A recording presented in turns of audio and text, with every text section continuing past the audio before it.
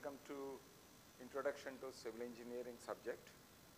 So this is for the first year, that is for first semester or second semester. This is an optional open elective and this is being given by the Department of Civil Engineering and the course code is 22 ESC 141 slash 242 and this has four hours of teaching per week, two hours is teaching and the other two hours is tutorial and the total number of hours that is pedagogy is 50 hours, that is 25 hours for teaching and the remaining 25 hours for tutorial.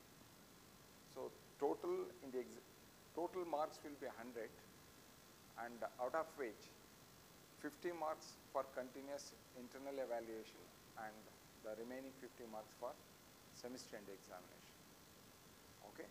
And those two numbers will be added and the result will be declared for 100. So as usual, this subject has five modules. So before going into the details of the modules, so let me say, let me see what we have as course objectives. So as per the VTU, so they have given us five course objectives. So the first one being to make students learn the scope of various specialization of engineering. To make students learn or we can say to make students aware of the various specialization of civil engineering. That is one of the course objectives. And the second one being to make students learn the concepts of sustainable infrastructure and to develop students, going to the next one, to develop students' ability to analyze the problems involving forces, moments with their applications. Fourth one being to develop the students' ability to find out the center of gravity and moment of inertia and their applications.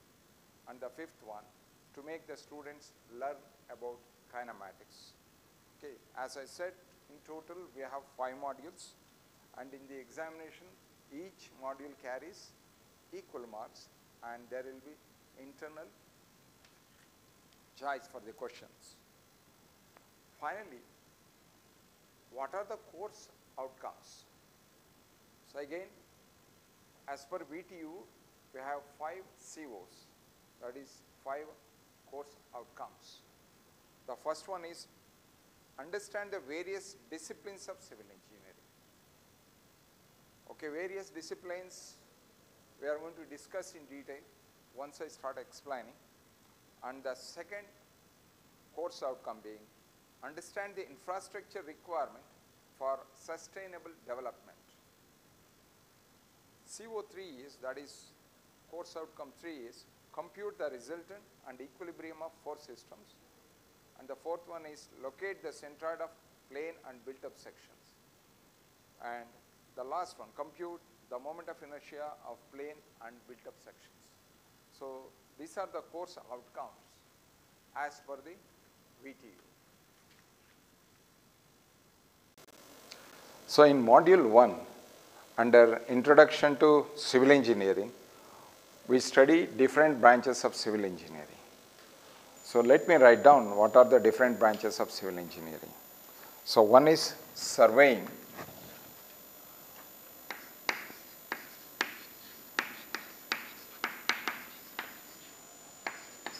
second one is structural engineering.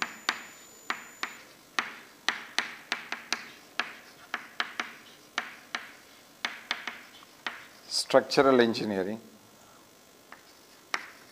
geotechnical engineering,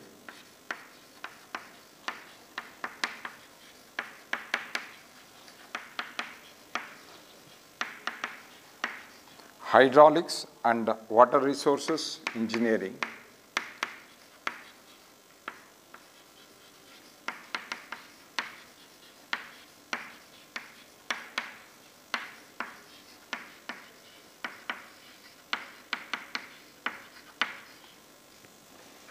transportation engineering,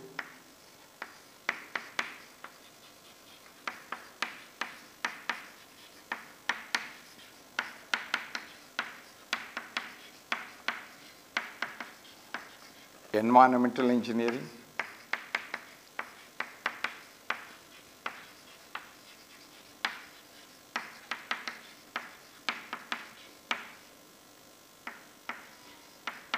and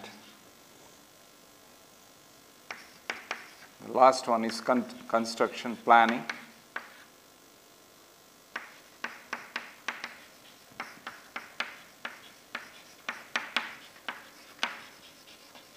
and management, project management.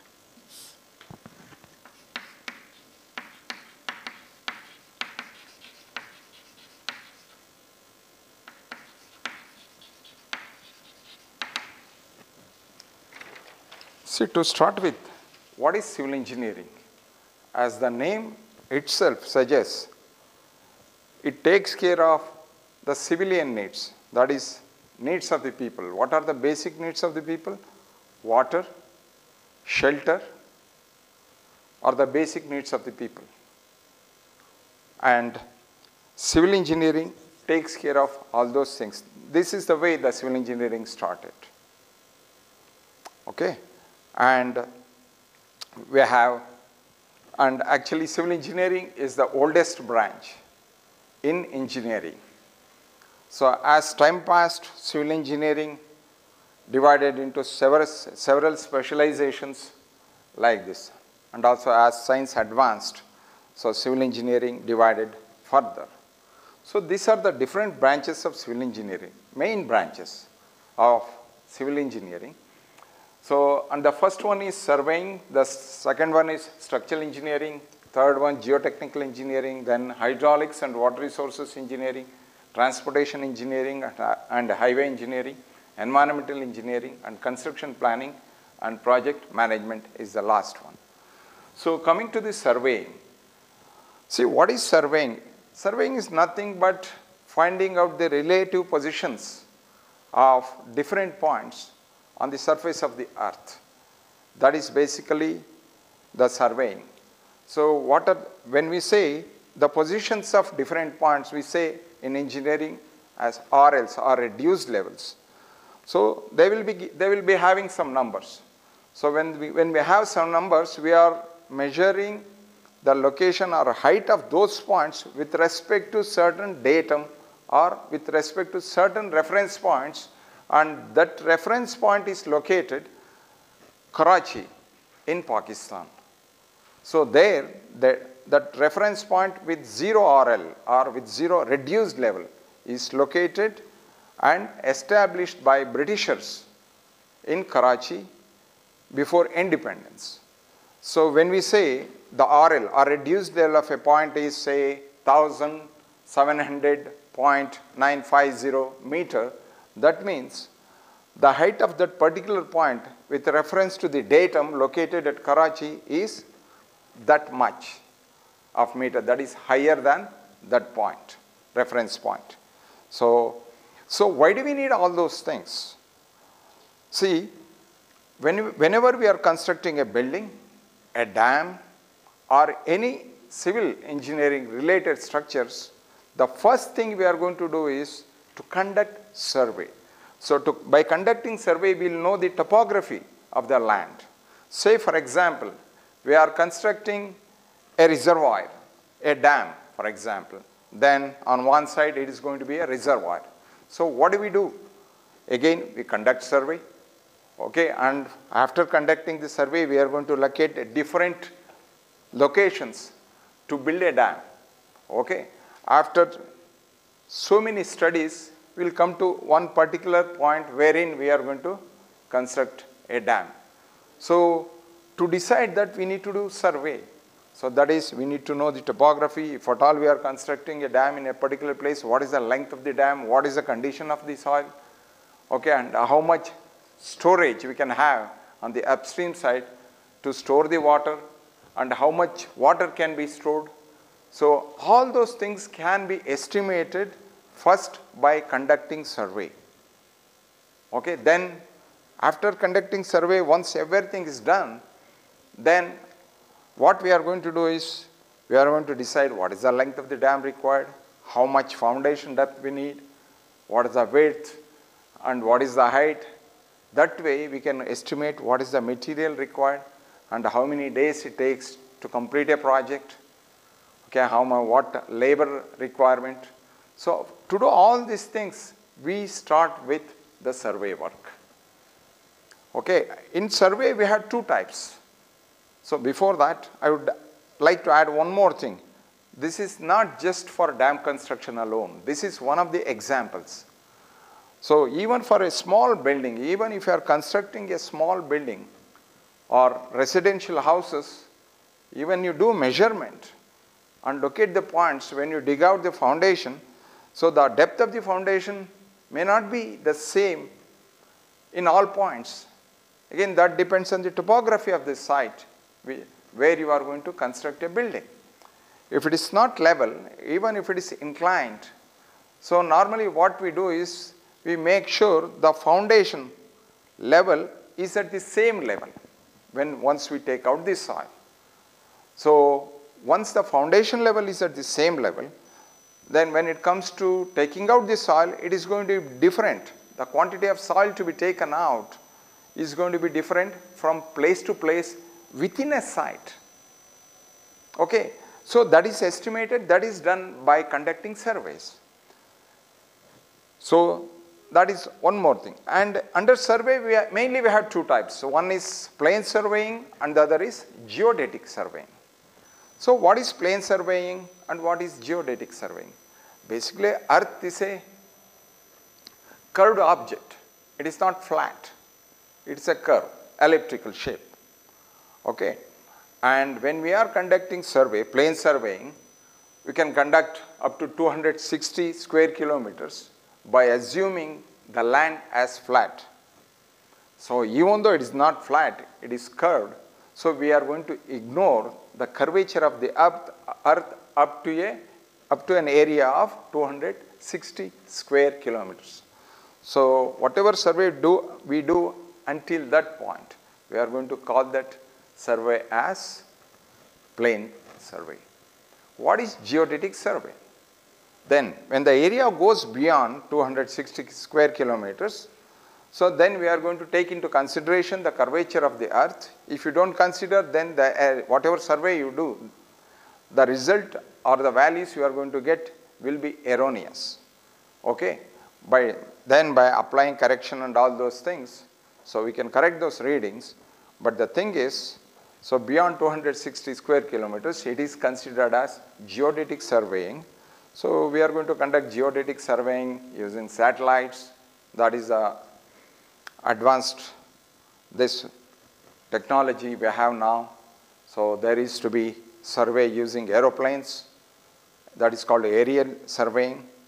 When it comes to plane surveying, okay, which we do for smaller areas, so we are going to use different instruments to conduct surveys starting from simple chain, simple tape up to different, some sophisticated, sophisticated instruments. So we are going to use different instruments like you know, dumpy level, theodolite, total station. Okay, these are the main things and also some accessories to help or to support these advanced instruments. Okay, and this is what we study in surveying mainly. And when it comes to, again, surveying, just when we are constructing dams, not only dams, we are constructing other marine structures. Again, when we are constructing canals, constructing buildings, all those things. So before doing anything, just we are going to conduct survey. It is survey is not simple measuring distance. No, it is well beyond that. Okay. With that, I'm going to end discussion on surveying. Let me go with the next branch, structural engineering. So, structural engineering, what is structural engineering? Again, if you take, I'm going to start with a simple building, residential building. Okay, when you have a residential building, so once you build a residential building. So that building will have some weight because of the weight of the material, what we call it as self weight and some dead, dead loads and some live loads. Live loads are nothing but temporary loads.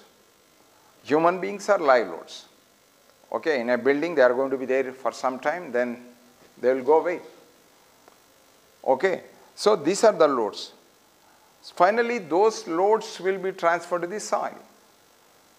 And to withstand those loads, so what we have to do is, we have to construct structures in such a way that those structures should be able to withstand the loads coming on that particular structure including the self weight of the structure. As I said, for example, if I take any residential building, especially a framed structure, what are the different elements of a frame structure? Beams, slabs, columns, footings, these are the main elements of a structure. And whatever the load coming on the structure will be transferred to the soil through these elements. Load travels from the point we apply on the structure at any point finally to the soil through the foundation. Okay. So, in structural engineering we have two parts, one is analysis part and the other is design part. So, in the analysis part what we do is when a structure is subjected to different loading conditions, so it is going to create or it is going to generate what we call bending moment, shear force and also it is going to create deformation everything.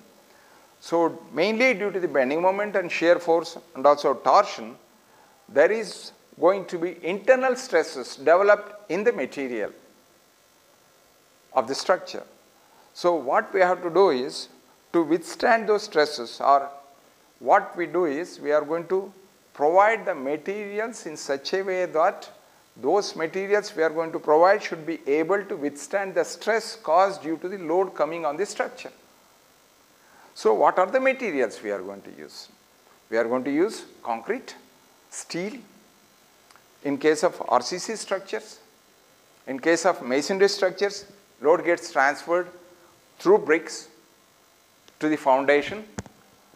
When it comes to steel structures, again all those elements, structural elements are made of steel sections like I sections, L sections, angles, etc. Okay, as I said, so we have two parts, analysis and the design part. So what do we do under analysis? So first, as per the codal recommendation, we have more than 500 code books in civil engineering. So there are only a few codes we use regularly. One of the codes is IS 875. This has five parts.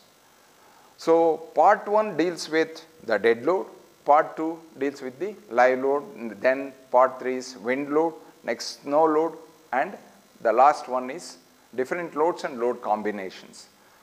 So mainly we are going to use part 1 and part 2. So part 1 dead load. What do we get? So what are the unit weights of different materials? What is the unit weight of brick? If you take 1 cubic meter of brick, how much it weighs? And if it is concrete, pure concrete, 1 cubic meter of concrete, what is the weight of that? If you take 1 cubic meter of, meter of RCC, what is the weight? If you are using some wood material, depending on the species of wood, it will have a different value, different unit weight. Okay? So all those things, things are covered in part 1 of the code book. So that is mainly related to the dead load. When it comes to the live load, another name for live load we are going to use nowadays is the imposed load. So the code says imposed load for say residential building what is the load? Say for example, they may say, okay, here it is 2 kilonewton per meter square.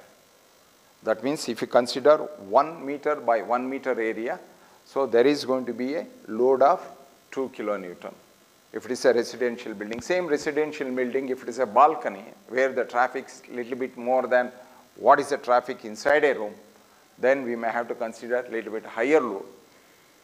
And if you go to a hospital, so again, the load will be more because it's a public building. Again, if you go to a marketplace, again, the loads will be different.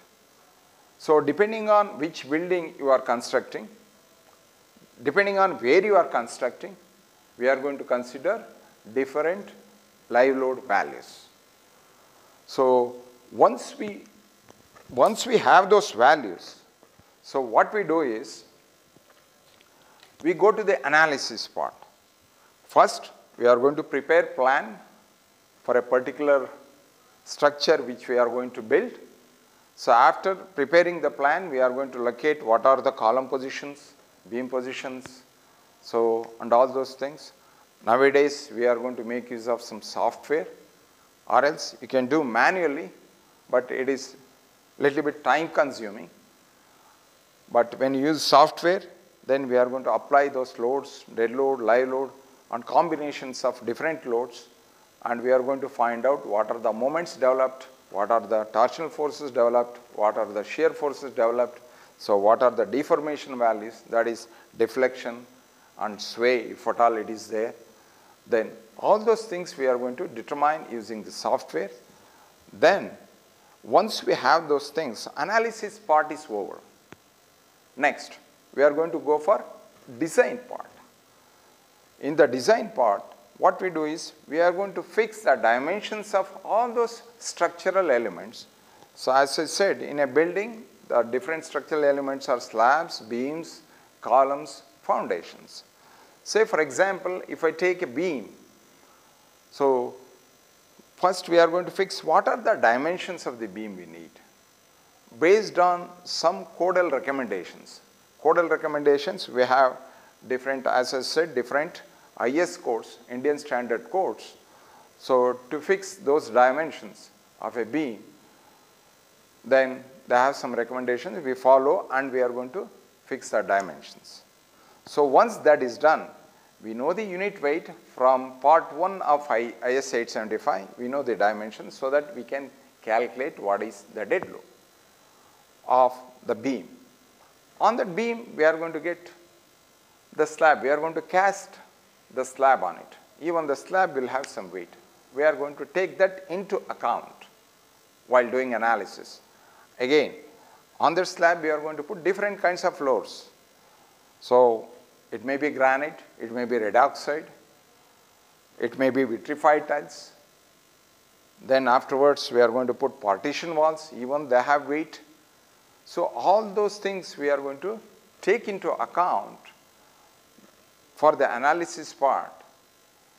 Okay, once we determine the moments and shear forces developed, if it is an RCC structure, knowing the depth and width, we are going to find out what are the steel requirement, that is how much steel you need, that is the reinforcing bars. So we are going to find out, okay, through the design. That comes under design part. Afterwards, to take care of shear, we have to provide stirrups. What are the stirrups we are going to provide? What diameter of stirrups? How many legs of stirrups? What is the spacing of stirrups? So all those things we are going to do in the design part. So in addition to that, we are going to check for deflection. So any structure, if, if you take, is bound to deflect. Say for example, if I take a beam, again it has deflected under the self weight and also under live load. So it is not visible for naked eyes. Just because it is not visible, it does not mean that it has not deflected. Only rigid material cannot deflect. But there is no material which is rigid on, the, on this face of this earth. Okay, so it is bound to deflect, then we are going to find out what is the deflection. Then we have to make sure that the deflection we get is within certain limits. So where is the limit set? It is set by the IS code. So we are going to check what is the standard maximum deflection allowed for that particular structural element. Okay, and we are going to find out what is the actual deflection. We have to make sure that the actual deflection is less than what is maximum allowed. Then only we can say, okay, it is good. So just because the deflection is excess, it does not mean that the structure is going to fail. The even though defle the deflection is more, so the structure can stand, but it is not going to be serviceable or livable because of excess deflection and also it causes some psychological feeling among common people to live in that area. Okay? Again, finally, the load gets transferred to the columns. Again, how much load the col a column gets. Okay, as a result, what is the moment to which a column is subjected to and also what is the actual load it is going to be subjected to. So those two combinations to withstand, then we have to provide again proper dimensions of the column, then proper reinforcement, proper lateral ties and all those things. Again, when we come to this slab, yes, same thing we apply. We apply load, we take into consideration all the dead load and live load or imposed load. Then we are going to design. So in the design, we are going to find out what is the thickness required, what is the slab thickness required. So what are the reinforcements we need, what are the diameters of the reinforcements, and at what spacing we need to provide those reinforcements. Then at the end, how to tie those reinforcements. So all those things we are going to do in design. Okay, just I have taken only two elements for discussion, two or three elements like beam, slab, and uh, columns. But similarly, we can have, we can design so many other structural require, structural elements depending on where we get and with that I am going to end with RCC and when it comes to steel same analysis remains the same. When it comes to steel structure so we are not providing any reinforced concrete over there. We are going to construct a structure using only steel sections.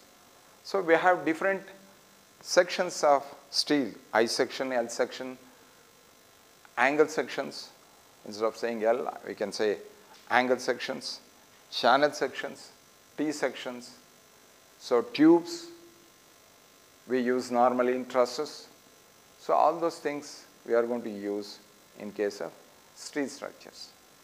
Again, in, when it comes to design, so we are going to find out what are the different sections we need and all those things.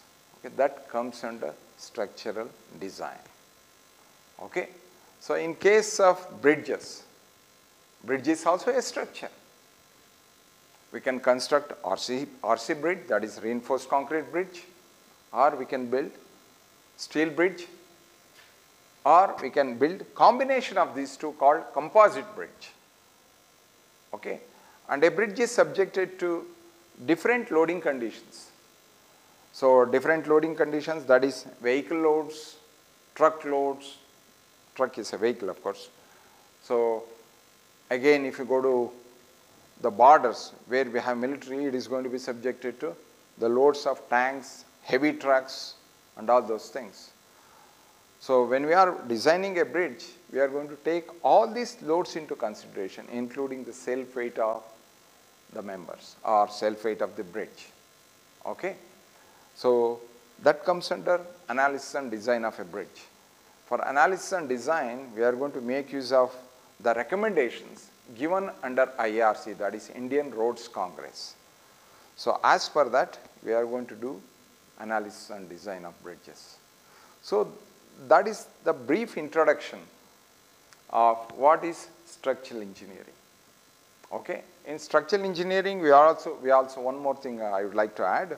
In structural engineering, we also do analysis and design for earthquake. Okay, that is a different part in structural engineering and it needs some specialization.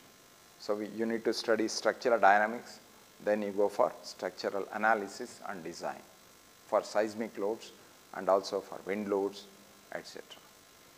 So that completes structural engineering topic briefly. Let us go to geotechnical engineering. Again, this is also one of the important branches in civil engineering. It is, it is as important as structural engineering. So whatever structure we construct, we, are, we have to construct on earth. So whatever load the structure carries has to be transferred to the earth safely. For that, we, we are supposed to know the properties of the soil underneath the building. So by knowing the properties, soil has different properties. By knowing these properties of the soil, we are going to find out what is the bearing capacity of the soil, how much load per unit area of the soil can carry. Okay. So to find out what is that value, what we do is we are going to go to the field, we are going to collect samples and we are going to bring the samples to the lab and we are going to conduct different tests on the soil. So after conducting different tests, so there are different properties, mainly C and phi, that is cohesion and internal friction properties, we are going to find out and we are going to find out what is the bearing capacity of the soil. But there may be some soil wherein it normally they may not be able to withstand the heavy load or whatever the load coming on the soil.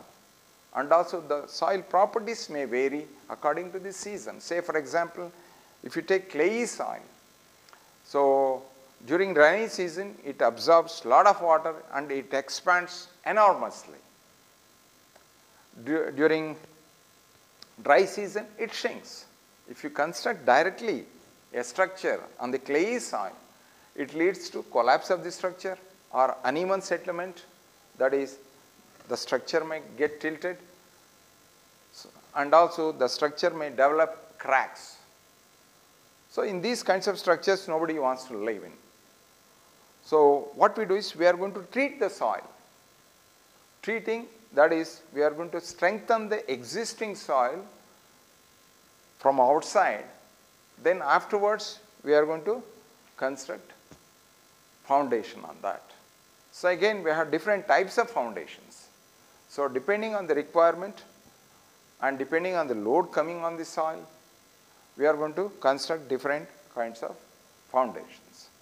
So in soft soil or in sandy soil, so and also the foundations in marine structures. So we use normally piles. So piles are nothing but the vertical members it is like a pencil of different diameter and different lengths. Diameter, it may even vary from 150 millimeter up to 900 millimeter, huge pile. And the length may vary even up to 30 meters. Okay, we are going to drive those piles. It is going to be like a pole into the soil. And we are going to drive several piles into the soil okay, then over which we are going to construct the foundation on which we are going to put a structure. Okay.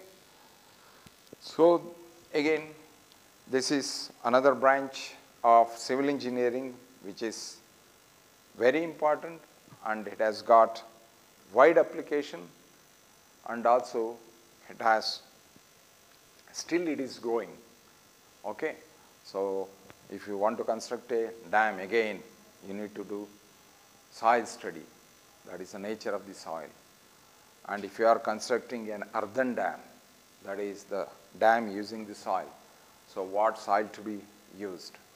How much the soil to be compacted? So all those things we are going to study under soil mechanics or geotechnical engineering. Okay? And we are going to construct a structure. Next comes hydraulics and water resources engineering. What is hydraulics? It is, it is a subject wherein we are going to study the properties of fluid. Here, when we say hydraulics, it is water. So, water may be under two state. It is under static state or it is under dynamic state when it is moving. So when it is under static state, again it applies pressure. If you are constructing a dam and if you are storing water, so it is static. static. So it is going to apply pressure on the dam. So how much pressure the dam is going to get due to the water? Again, the pressure depends on how much water depth you are going to store. Okay? So that property we are going to study, how much, what is the pressure. And also if it is windy, then it is going to create ripples and it is going to, ripples are going to hit the dam. So they are also, ripples also going to cause additional pressure on the dam. So that should also be taken into consideration if you are building a dam. Okay? And in case of marine structures, so water will be again moving. We are getting waves. If you are constructing marine structures like docks, harbors, so all those water current forces will be taken into consideration. Okay? So that is under, that comes under water under motion. So again, if you are supplying water for drinking purpose or for irrigation purpose, so water will not be stagnant, it will be flowing. Okay? So when the water is flowing, then we are going to study different properties of the water when it is flowing. What kind of flow we have, like laminar flow, turbulent flow, and all those things. We are going to study under hydraulics. Okay, hydraulics is nothing but the, to study the properties of water when the water is static or when the water is moving. Okay, and water resources engineering. So water resources engineering is very important after knowing these properties of the properties of water, then we need to apply the knowledge of hydraulics under water resources engineering. So water resources, what are the resources for water? Lakes, ocean, rain, underground water, and we are going to make use of that water for irrigation purpose, drinking purpose, and any other industrial purpose, and all those things. So when we are constructing a city, for example, so their first thing we are going to construct is after the survey everything. So where can we get the water from? So where is the nearest source of water so that we can supply? If not at a feasible distance, do we have any water underground so that we can drill the water out through borewells? So those things we are going to study under water resources engineering. And once that is decided, then we are going to estimate what, how much water we need per person per day. Then depending on the population, how much we are going to find out how much water we need. Then how to bring the water to this city. So that is through pipes or through open canal to some distance. Then after water is brought, so it should be purified and then it should be supplied. Okay. Then if you are using water for irrigation purpose, so how much land to be irrigated, so how much water you need in every season. Okay, what is the canal size you need? Again, depending on how many hectares of land you are going to irrigate. So all those things we are going to study under water resources engineering and also we are going to study how much rainfall a particular area gets in a particular season and we are going to measure the rainfall so that we can get the estimation of water coming to a particular reservoir. So these are the brief introduction about hydraulics and water resources engineering and so it is much more than what I am saying in 10 minutes. Okay. With that, I will go to the next transportation engineering and highway engineering. So transportation and highway engineering. See, for any city to develop, infrastructure is very important. So there are several infrastructures and very important infrastructures are roads, bridges, okay, and uh, waterways, airways, etc. So if I take say for example roads, for any city to develop, for any, any industry to develop, the first thing they are going to look for is the communication. Communication in this sense, physical communication. How can we approach that city? If something is manufactured in, this, in that city, how we can export through roads? Do we have good communication? Do we have good railway lines? Okay, and how can we get raw materials? Is there anything available nearby or do we have to bring from far off places? So to bring all those things, do we have all those roads, proper roads?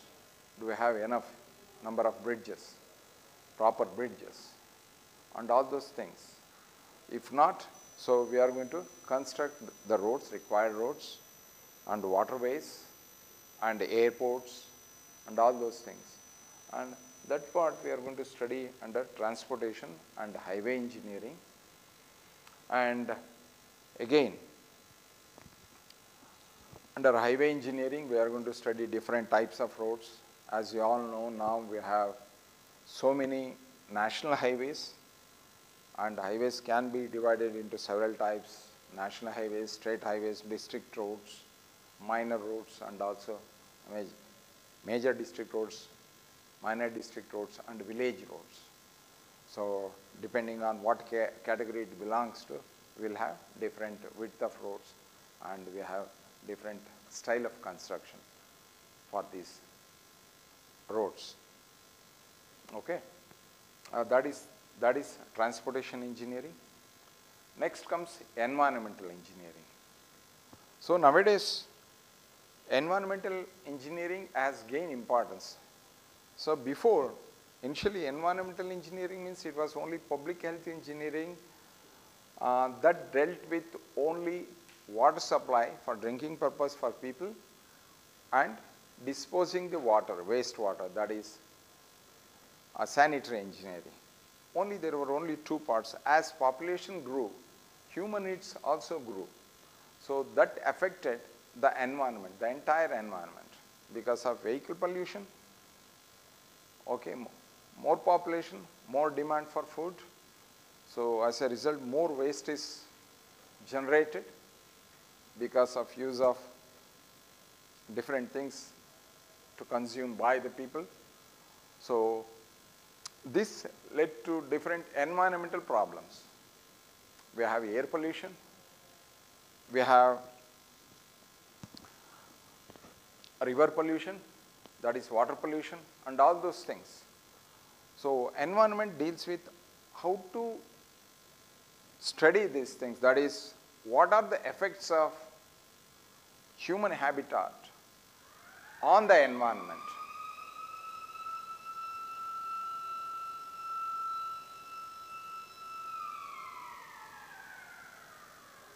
So we are going to categorize and we are going to study related to environment like air pollution, solid waste management, so water supply, sanitary engineering.